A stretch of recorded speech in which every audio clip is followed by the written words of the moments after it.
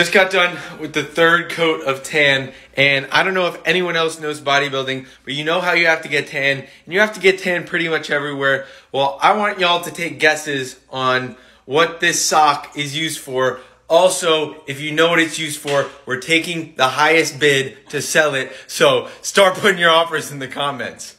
Starting bid is 10k. Starting I'll bid is 10K. 10K.